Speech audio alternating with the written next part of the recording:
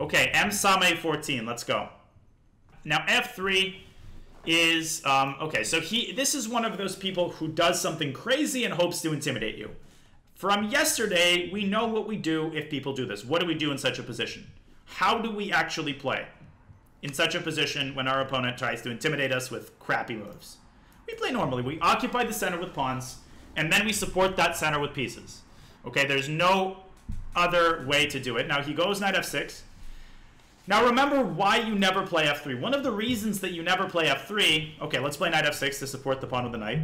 How do we actually, how do we actually try to, how do we actually try to exploit the fact that he's played f3? How do we try to exploit? How do we prevent him from castling in the long term? Where are we going to put the, okay, first of all, I go c4. So he continues to push pawns and weaken his squares. We just drop the knight back he's doing nothing but weakening his position. Exactly. Bishop c5 to stop him from castling in the long term. Okay. So okay, h4 again.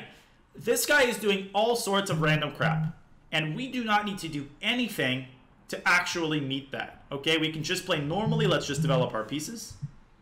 Um, let's just develop our pieces. And uh, I guarantee you guys that this is going to work a lot better than anything crazy. I don't like this pin. Okay, I don't like this pin. Can we do something about this pin? What can we do about this pin? Yeah, h6. Just chase the bishop. Now, if he takes and plays knight e4, we'll deal with that when he does it. I've seen that. Okay. He continues to play terribly. I mean, look at... Okay, knight e5. Now, this is where a lot of people will be like, oh, no, you know, he's put a knight on a good square. He has one piece on a good square. Big deal. We just drop the queen back. We don't want to give c7 up. And then we're going to get this knight out of d5. And he's going to be left with nothing but weaknesses. Okay? So let's see what he does. I mean, this guy is really not playing very well. So really the only thing to remember here is to continue developing naturally and not get intimidated by crap. Okay, so he wants to play b4 and chase our bishop away. Can we just piss him off by stopping b4? Can we be prophylactic here, even though that's completely unnecessary? But I want to show you guys how frustrating it is for people to have to deal with you constantly stonewalling their ideas. He reinforces the threat of b4. How do we stop b4 again? How do we stop b4 again? Yeah, we go a4. You go, we go a4. Because we want to meet bb4 with the en passant. This is a very typical technique that's used in a lot of different lines. And obviously, he still has gone b4, but it's not the same. Now, how do we chase the knight away from d5 while also improving the positions of our pieces?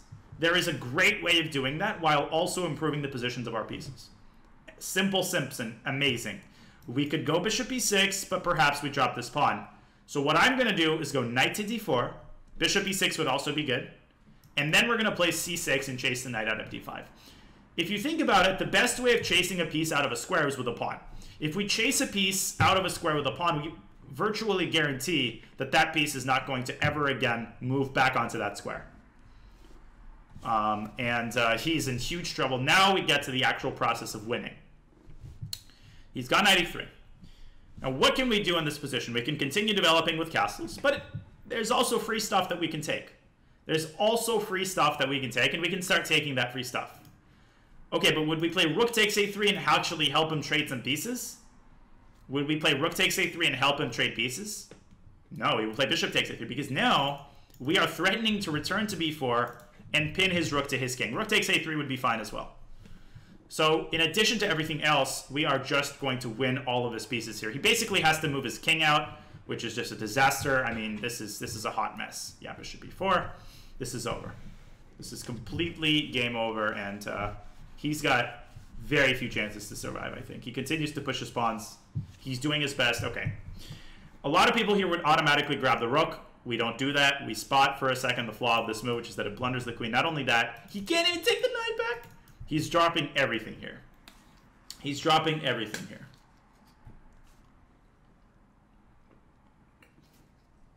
Okay. So, we didn't do anything in this game. All we did was develop our pieces. And, um, let me be very, very clear. I am not trying to laugh at my opponent here. These guys are doing everything they can. They don't know that they're playing me. I'm sympathetic to that. So I'm not trying to make fun of anybody here. In fact, the reason I'm doing this speedrun is to help players like M Same14, and I hope he's watching the stream. But if you are a player who likes offbeat openings, I would highly advise against stuff like this, unless, unless um, you have fully mastered an opening, and when you're 16, 1700 and you want to play some offbeat stuff, okay, that's a different story. But this kind of stuff, it might intimidate players in your rating range, but you're not building sound fundamentals. I talked about this yesterday. You aren't building sound fundamentals that you can build off of later, and you'll get stuck at a certain level. Okay, so first we control the center. Take now, how could we ensure that we control the center with pawns? Could we ensure that we control the center with pawns instead of going knight f6 and recapturing the knight? And I like this move that you guys are about to find. Okay, so the move d4. I want to talk a little bit about the move d4. This is a big mistake. This is a big, big positional mistake. Why? And a lot of people make this mistake, so listen up. The correct move, Hori Horiplation, is to play c6. That is correct. That's okay. That's why I'm here. I'm here to help you understand why this is a mistake. Morgan, I love that you suggested this. Um, and I want people to keep doing that, okay? We learn by making mistake, mistakes. The reason a move like d4 is a mistake is because it closes the center. Now, you might be like, how does it close the center? Well, it literally creates a little bit of a wedge that makes the center more closed. And more specifically, if you go bishop c5, the bishop is just going to now stare at the pawn. So you give him an easier time to castle. Remember, when we keep the pawn on d5, we're able to put the bishop on c5 and basically prevent him from castling. Okay? So by playing d4, you might argue, but wait a second, Daniel, don't you cramp white's position, right? Don't you get more space? You do, but space isn't everything. In such a position, he can work around the pawn and get his pieces developed. And yes, he's going to be slightly worse. He's going to be cramped, but he would much rather be cramped and developed than not cramped and getting checkmated. So a closed center is not bad in general, but here's what I would say. Closed center positions are hard to play if you're a beginner because they involve a lot of maneuvering slow play. But there's a lot of uh, openings that are completely good openings which involve a closed center. One example is the advanced French, which is good for both sides. The advanced French is an opening in which white closes the center voluntarily. It's one of the best weapons against the French, but it's a very hard opening to play for a beginner because it involves knowledge of a lot of deep positional themes. Another opening which I play, which involves a close center, is the King's Indian main line. In the King's Indian main line, which I'm just going to very quickly show you guys, white very often plays d5, closing the center. And what happens when you have a closed center is oftentimes a situation which is called attacks on opposite sides. When you have a closed center, you basically shake hands with your opponent and say, okay, we're not doing anything on this little sliver of the board. So I'm going to take this side of the board that I'm going to delineate, and I'm going to delineate with arrows that are not orange in order to not confuse the people. And for some reason, I'm not able to draw other arrows. Whoa! Sorry, sorry, sorry, sorry, sorry, guys. You get the point. White was attacking on the, um, black was attacking on the king side, white was attacking on the queen side. My, my apologies for this. Um, okay, so whatever. Um, Black is attacking here. White is attacking on the queen side. And the question then becomes, whose attack outweighs the other? Uh, for some reason, it's not letting me draw any other arrows. I don't know why, but it is what it is. You guys get the point. Um, one moment, please. Okay. So that's what happens when a center is closed. And obviously, as you guys can understand, it's very difficult to manage attacking on one side and defending on the other. So that's the reason why oftentimes I recommend openings where the center is kept open so that you get more possibilities for tactics. I hope that makes sense. I'm explaining this on a very general level. There's a lot more specific stuff to, to, to go into there, and I will. Now here, my opponent, instead of trying to develop his pieces as best he can, continues to push his pawns and create very big weaknesses in the center. And of course, we play bishop c5. Where should white have put the bishop here?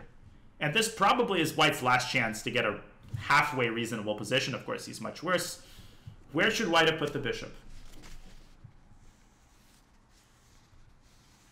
And why? If you guys have been... Morrigan, that's freaking right. You get him, girl. Bishop b3 is correct to stop bishop c5. Okay, you want to develop in order to stop your opponent from developing his pieces on good squares. That is a very high level way of developing. When you're developing your pieces, you not only want to think about the most active squares for your pieces, bishop g5 technically is the most active square for white's bishop. But there is a greater priority here, which is to stop black's bishop from coming out onto c5 and controlling this diagonal. And after this, he goes h4. He exacerbates the situation. We get rid of the pin. Okay, had he gone knight e4, if we wanted to preserve the bishop, what would we have done? We can go queen e7, and this is fine, but if we wanted to preserve the bishop, what would have also been possible here? Yes, bishop b4 check is good. Um, and, and then we can move the queen, and, and then we can slide the bishop back to c5 later on after we get rid of the knight. Okay. Um, so, so here, rook b1, a5 is a prophylactic move to stop b4. We didn't need to do this. We could have just developed. We could have gone bishop b6, and b4 is not scary, but I wanted to show the principle of prophylaxis. I wanted to show how effective it is in certain positions to prevent your opponent from doing what he wants to do. En passant, obviously this doesn't get the same effect. In fact, it just weakens his pawn and it gets things worse. We get rid of the knight, we take the pawn, we pin the rook, we take the queen, we win the game. So, in fact, really the trouble started when we stopped him from playing b4. People are very stubborn about their ideas, so when you actually take the time to prevent people from doing what they want to do, and this this is true all the way up to the grandmaster level, it's very very disconcerting. That's why players such as Tigran Petrosian and Anatoly Karpov were so good at chess because not only were they good in all areas, but they also went out of their way to prevent the opponent from making things happen. It is a medical term. That's where it comes from. Um, Amrad Samar says, why not b6 instead of a4? Uh, well, b6 doesn't actually stop b4. Maybe it, it, it deafens it a little bit, but um, it doesn't actually stop white from playing b4.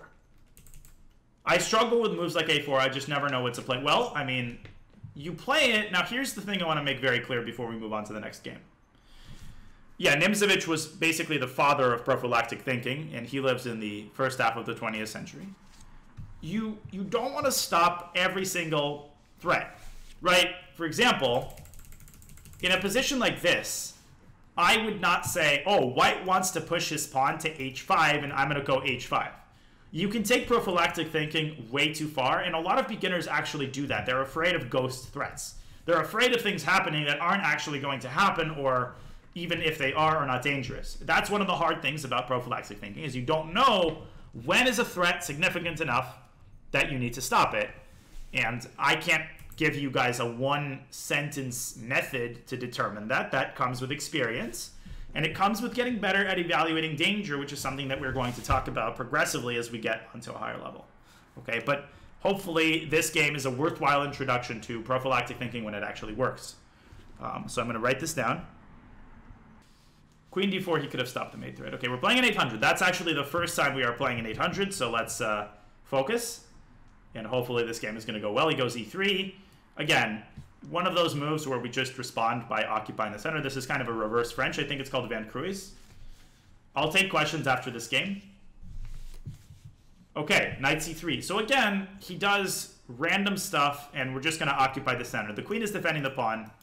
It's okay. Uh, it's my pleasure to do this, but I always appreciate support. Subs, everything is always appreciated, never expected. Please don't feel guilty for just being a helpful viewer. That is also very much appreciated, but I do obviously um, greatly, I'm very, very grateful for all of the support as well.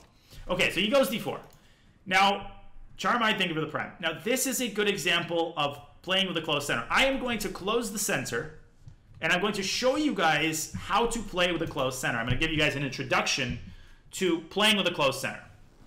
Now, he gives us a check, which is actually a completely empty check which allows us to actually support our center. How can we block this check? How can we block this check and simultaneously give some support to the center? Yeah, c6, and we're going to get out of there. Get out of there, and we got a nice little pawn chain that's basically giving us a small advantage. Now let's continue developing. Let's first develop this bishop. Where do you guys think we should put this bishop? Thank you, Kimball S and Bits. Where should we put this bishop? Um, d6 is right. So a lot of people want to put it on b4, um, and I will explain after the game why bishop b4 is bad, Or it's not bad, but it's not great. He goes bishop g4. And what he wants is that if we take the bishop, he gets his queen out. And that queen is going to attack g7. Do we need to take his bishop? A lot of people suggesting f5, which sends the bishop back. That is a fantastic move. Get out of g4. We could have also simply developed our knight to f6 and made him take our bishop. He's giving us a check. It's not doing anything other than helping us develop a very nice pawn chain. Now let's continue developing. How do we continue developing? Nothing, no rocket science here. We just continue developing. We've got a nice pawn pyramid. Let's continue developing with knight f6. Knight h3, we're going to castle. Okay, nothing, no rockets. I go knight g5. Again, he's making moves that aim to intimidate us, but they actually do absolutely nothing. How do we get this knight out of here? Let's go h6 and get that knight. Oh my god, okay. So he blunders his knight. He's His mistake is that he's not actually developing. He's just moving the same piece over and over again. That's not... A, okay, now he offers us to open the center. Should we open the center? Yes or no? Are we ready to open up the center? Now that we are up a piece, we absolutely are, ladies and gentlemen, we absolutely are. Because we have not only an extra piece, and as you guys know, one of the fundamental principles of operating with extra material is that you want the center to be open for that material to, to show itself. The second thing is that we have most of our pieces developed, and his pieces are super passive. He takes with the bishop.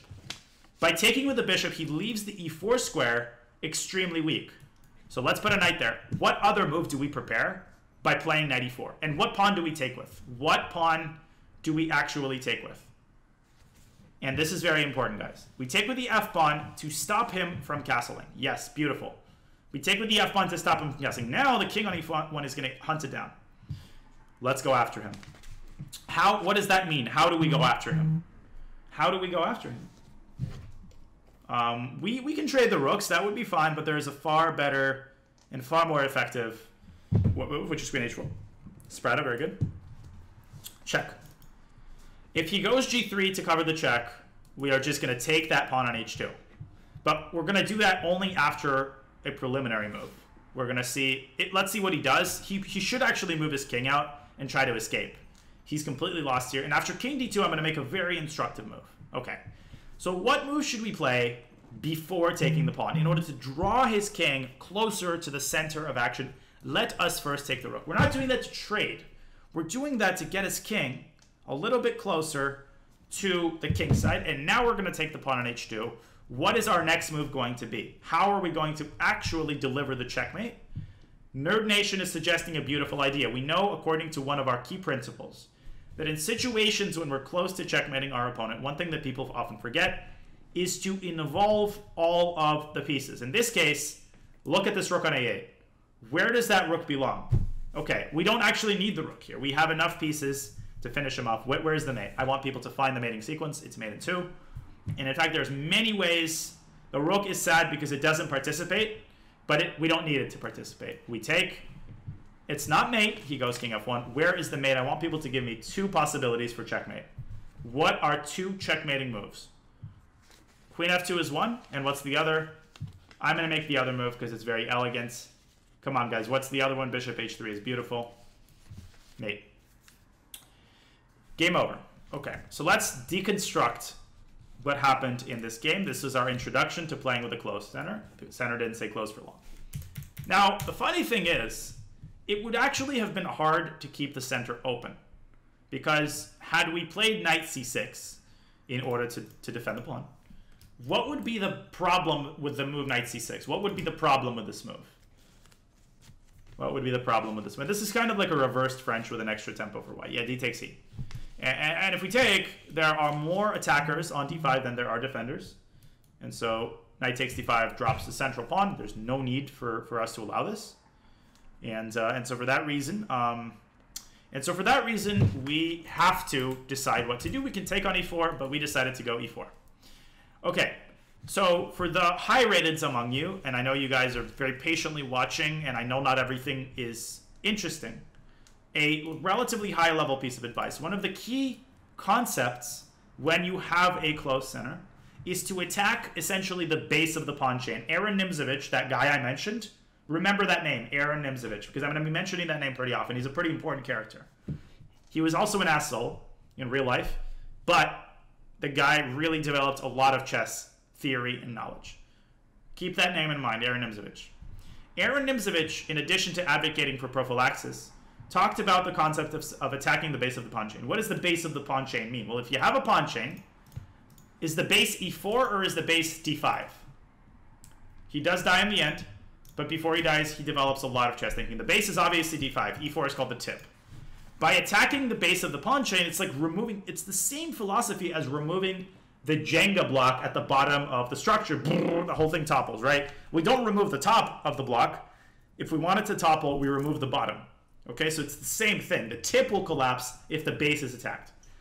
So what in White's position, from that perspective, has been a mistake? What move should he not have made and why shouldn't he have made it? What move would he like to take back? Bingo. White wants a damn pawn on c4.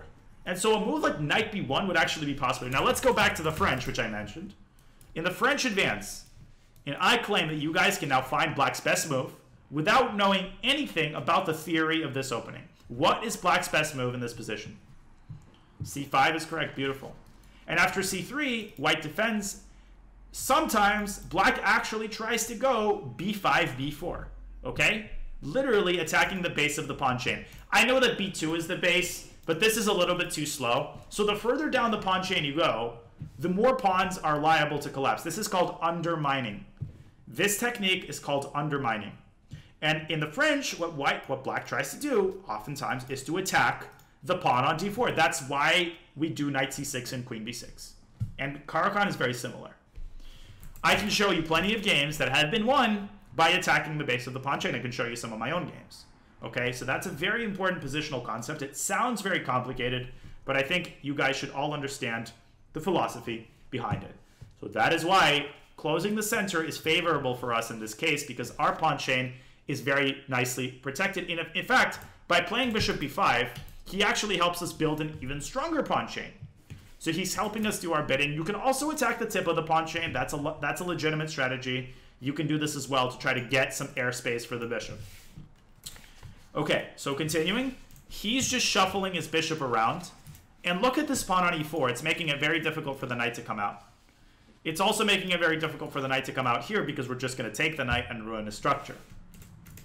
Somebody is asking, when he played bishop b, what about bishop d7? Well, the problem with bishop d7 would be that after bishop takes d7, we would have to take with a queen to keep this pawn protected. So bishop d7 isn't so much bad as c6 is good. And I want you guys to understand that.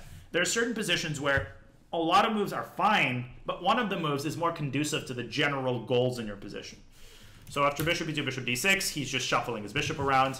We're sending that bishop away. We could have also played knight f6. And uh, by we're, we're basically what my friend Dana Mackenzie calls moving our opponent's pieces. White has just moved his bishop 15 times and done absolutely nothing. We have already developed a bunch of our pieces. So what should White's black what should White's plan be here? He shouldn't trade the light squared bishops. He should actually try to trade the dark squared bishops. And for the higher rated guys among you, what is a plan to try to to try to exchange the dark squared bishops? What can White try to do? And believe it or not, this is a very typical plan in the French. This is a very typical plan in the French with colors reversed. How does White try to get rid of this terrible French bishop? Bingo. b3, a4, bishop a3. If you guys look at French games, you actually oftentimes see precisely this plan being applied with colors reversed. It's not rocket science. You're trying to get rid of your worst piece, and you're developing a plan to try to get rid of that piece. In fact, let me show you guys an example of that just to, just to show you guys that I'm not lying. All of this can be observed in the French, which is the closest opening to this pawn structure. Here we go. Here's an example of how when I did this. Here is an example of when I did exactly this thing. 10 bucks from Lapam Torita. Thank you so much. Of course, I appreciate it. Very sweet. Would not be possible without your guys' support. Here you go. Literally, word for word. Here we go. My game against Jean-Marc Degraeve. I did play the French a couple of times in my chess career. This game is from 2016. I'm playing a French Grandmaster. It is black to move. I want everybody in the chat to tell me the next three moves that I played with black because they are identical to what we just talked about, just with colors reversed. What are the next three moves I play? b6. Okay, I want at least several people because it is Lit Morgan. You are amazing. Everybody's amazing. b6. Queen e2 to stop bishop a6. a5. Bishop a6. Okay, and so I traded the bishops, and that was good for me, and I got a nice position. In the end, the game ended in a draw because it was very complicated, but I managed to trade off the lights for bishops. So again, we continue to see that at the Grandmaster level, a lot of these plans are actually completely understandable. But if you were to look at these moves without this entire introduction, you might think, oh, Grandmaster pawn move, so mysterious. In reality, it's not mysterious at all. I'm just trying to trade off my worst place piece, which is a very typical idea in the French. Okay? Um, so sorry for the detour. Just wanted to show this to you guys so you know what, what is behind this idea. Um, and here he should have considered doing the similar thing. Now, we just develop. He should have castled here and kept developing in his own right. And then one of our plans here would have been to attack on the king side. How do we attack on the king side? Well, one good way to attack with the center being closed is a pawn storm. How do we orchestrate a pawn storm? We want to play g5 and f4, but we cannot play g5 because the knight is guarding that square. How do we prepare g5? Thank you, heard that with a Twitch Prime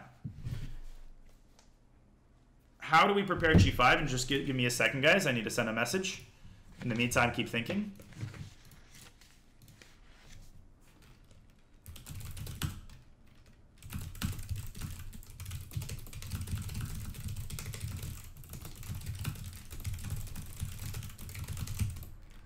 Okay. h6 is correct. h6, g5, and f4. Now h6, let's make some empty moves, right? You cannot play f4, but maybe you could. You actually can play f4. You can consider it because after e takes f4, and I will introduce now the concept of an intermediate move, or as they say in Italian, intermezzo, or in German, Zwischenzug.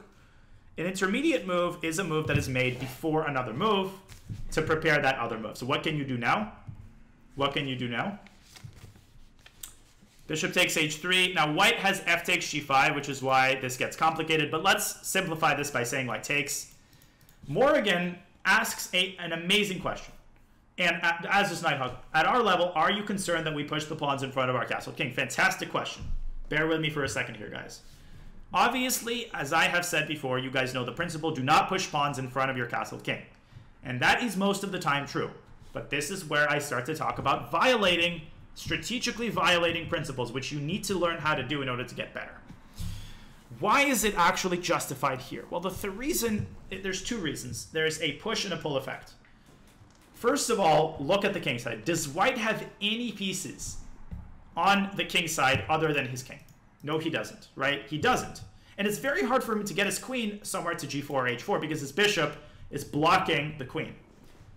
So that's number one. Number two, even if white tries to get pieces onto the king side, it will be way too slow. Because what black is already threatening f3. Where is this bishop going? Where is this bishop going? Nowhere. It's trapped.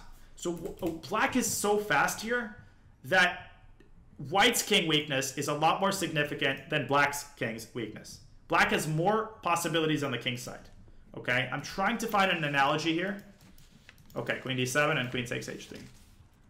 All right, it's like a lottery ticket drops from the sky, and you know that you're going to win the lottery. Whoever it's like a Hunger Games scenario. Right outside of my window on the road, I see a lottery ticket. And um, I'm here, and Usain Bolt is equidistant from that lottery ticket. So we're racing. Who's going to win, Usain Bolt or me? Obviously, Usain Bolt, right? We're Usain Bolt, and white is like me. And we're thinking, and the lottery ticket is the king side attack. Black is obviously so much faster here. So that's the judgment call that you have to make. But, Daniel, how do I learn how to make that judgment call? Well, you just saw the logic, and it's difficult. I want to be clear that these judgment calls are precisely what define chess mastery. It's difficult to make them. You can make misjudgments. I can show you plenty of games where I opened up the king side mistakenly, thinking that my opponent had no attack, and it turned out that I was wrong. That's just chess, okay? So that's how to think about it. Not to be too long-winded here. But instead, he just I mean, had he gone back to h3, he would have actually helped us start attacking. And instead, he blunders the knight. And here we open up the center. Another complicated thing about the center being closed is that you always have to think about who benefits in the case of the center getting opened. Here we are up a piece and we have much better development. So we are the ones who benefits. Uh, because obviously center getting opened helps us attack faster. Okay. Any questions about this game before we get to the next one? Any questions about this game before we get on to the next one?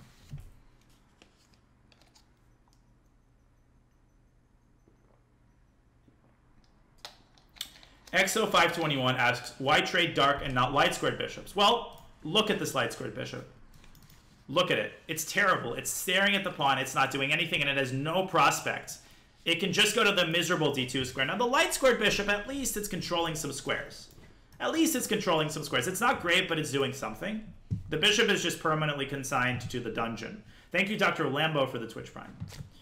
How do you deal with lots of pawn moves in the opening? Well, as I explained, one of the crucial things is to adhere to basic opening principles. You want to keep developing even if your opponent is just moving pawns around.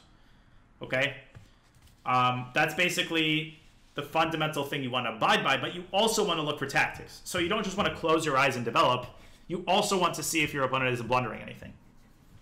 Okay. Um, I, I feel that I understand that Morgan is taken, but but yeah, that's that's actually a classic thing, and I feel the same way when I watch Carlsen explain his move. Oh, I can play like Magnus, but then I play and I feel dumb. Um, how do you know which bishop is better? Well, again, guys, I'm not using anything that you guys aren't seeing. I'm literally looking at how many squares a piece is controlling and whether it has the possibility of eventually developing to a good square. Um, now, it is also important to realize, and I'm going to make a small detour before the next game, that there are cases when you have a piece which looks terrible, and that piece looks so bad, you're like, man, that piece is never going to be good again. But you want to always entertain the possibility that a piece will one day, far in the future in 2025, open up. And sometimes you have a piece that is currently terrible, but if it opens up, will be the ultimate beast and will win you the game. Okay? And sometimes this is one of the beautiful things about chess. You want to think in the long run, and you actually want to keep a piece on a square where it looks really bad with the knowledge that one day that piece is going to get opened up and it's going to decide the game in your favor. That's an, also a difficult judgment to make. Daniel, do you have a game to show me what the hell you mean? I do. Here is one of my games from 2008 to show you guys what I mean by that. Okay. So let me fast forward to the critical moments of this game. Okay. So this is a game, sorry, this was not San Francisco. This was actually Reno. I don't know why it says San Francisco. Um, Reno? Okay, so this was in Reno. Oh, sorry, this was, yeah, this was in Reno. Um, and take a look at my position. I have, what is my worst place piece? What is my worst place piece? What piece looks awful? What piece looks awful? Yeah, look at this. Look at this piece of crap. Look at this piece of crap. Okay? Now, but let's take a look at a scenario. Let's imagine, imagine for a moment, imagine for a moment that the pawn was gone from e4. Imagine that I could magically make the pawn disappear. For, so, for example, let's say he plays f5, which is terrible, and I play... Do you guys see how amazing this bishop is? It just, it x-rays, it skewers black's entire position. This becomes the ultimate beast. I am white, guys. The, the, the player listed first is white, okay? And we're all, we're going to be facing the side that I'm showing the instructive elements for. It's not always going to be me. Sometimes it's going to be my opponent. So I judged in this moment that I should probably keep the bishop on g2 and not try to improve it and put it on h3, for example, because I thought that maybe one day this bishop gets opened up and then it's going to be the beast. But look at what happens. We play, we play. Here I found a really nice tactic. Rook takes f7. He cannot take the rook. I'm not going to delve too deeply into this because that's not the point. But basically, he has to give his queen up for two rooks. Queen g5. Queen takes c5. Queen takes d4. And guess what move I play now? Guess what move I played now? And I know I'm going fast. I'm just trying to illustrate the ultimate concept. Sorry. And look at this. Look at this monster. Look at this monster. Compare this position to this position, huh? Now it's the beast that wins the game, and it delivers the penultimate check. It is the piece that powers White's mating attack. He cannot take back on b7 because guess what piece supports the queen on a marionette. Thank you, Annika, for gifting to Morgan. it is the bishop. So sometimes there are exceptions to the rule. Sometimes you want to keep a piece on a particular square um, where it one day is going to be very good. But I can also show you the flip side of this. Sometimes a piece is just miserable and sad for the rest of the game, and you can even give up material to make a piece like this happen. One of the saddest games in my in my life was my game against Alexander Onischuk from the 2015 U.S. Championship, where I had a bishop on A8. Look at my bishop on A8. I'm playing black this was this actually was famous. Anish Giri, after this game, tweeted, "I wish I." Something like, "I wish I was in Naroditsky today." Um, that's what he said because of my bishop on eight. This bishop is never going to get out. It's actually a hilarious situation. They go jam jam five gifted subs. There we go. It's a hilarious bishop on a8, which is never going to get out. And even though I am up a pawn, black is completely lost because I am basically down a piece. I resigned the game up a pawn because he just gets in with his king and he takes all of my pawns. Okay, because my bishop is never going to get out. So that also happens. There's two sides of the coin. Okay, that is actually a very sad situation, so I'm actually not going to concentrate on it any further. Let's go back to the speed run and let us begin the next game.